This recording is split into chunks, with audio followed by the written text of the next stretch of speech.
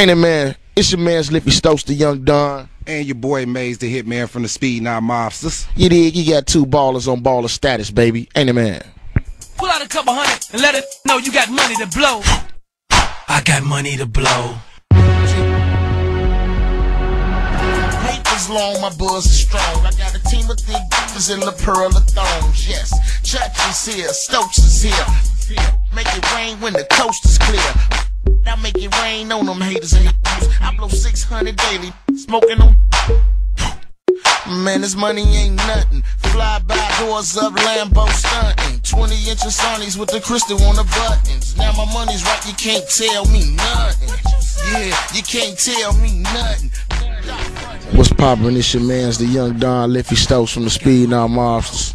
Ain't it, man? And your boy Maze, you already know. Yeah, you know what I'm saying? We've been knowing Twista for years. It's like we got up with him during the Adrenaline Rush project.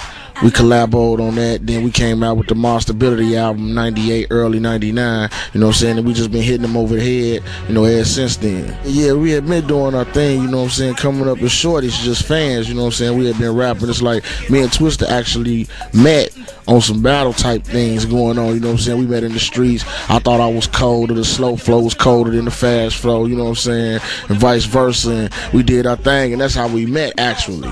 And then we met like six months later because I was going around telling everybody I had Fade the Twista in the battle.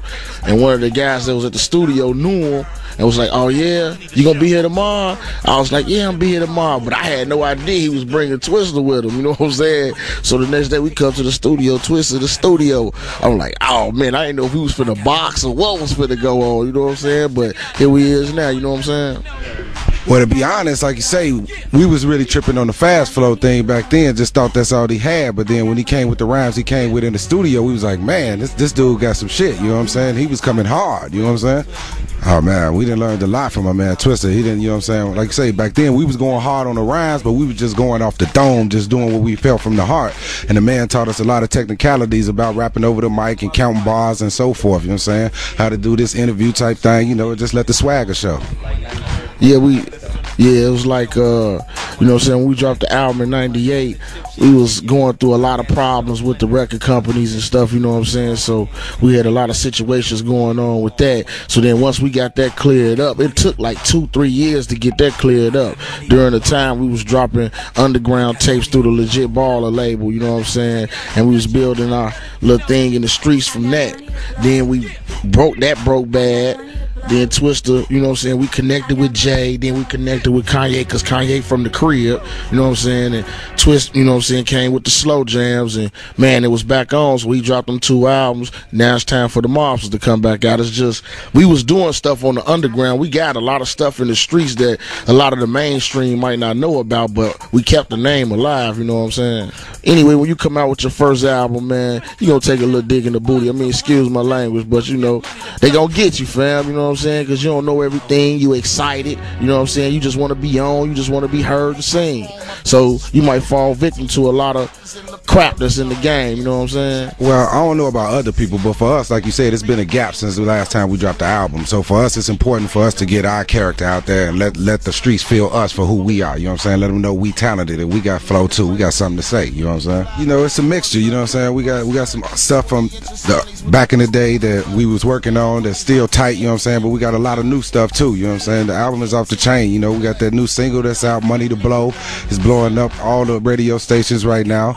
Then you know, we got uh we got the joint with Jim Jones that's off the chain. You know what I'm saying? Called "Gangsters Don't Dance." It's produced by Insane Wayne. So it's a lot of hot stuff on there. Yeah, it's like the album really consists of I can't say like songs back in the days because it's like we've been recording songs. We got like 200 songs, you know what I'm saying? And it's like we went through them and picked the best ones. But the best ones are the like more recent ones, you know what I'm saying? Because they're more up to date, more current on what's going on in the streets right now, you know what I'm saying? We keeping it like we did with the first Mobstability album, you know what I'm saying? It was just me, Maze, and Twista, you know what I'm saying? Doing our thing, going hard. So, you know, Jim Jones, a label mate here. We friends with the Dipsets, you know what I'm saying? So, man, we just collaborated and did our thing. You know, from us, it's just a matter of speaking our heart. You know what I'm saying? We just say what we feel on these beats. You know what I'm saying? The whole thing is just keep the keeping the production up to date and everything, making sure we keeping up with the times. But the flows is hot. It's still street. You know, it's all hood.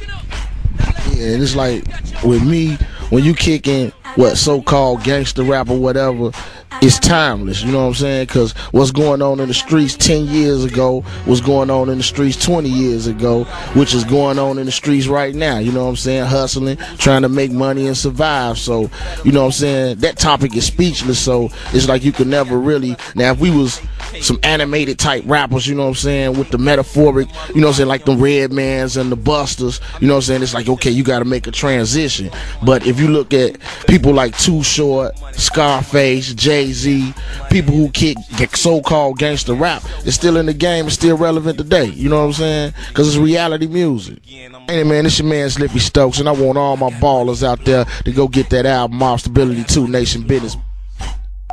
I got money to blow. Now ladies, check it out. You got your own money.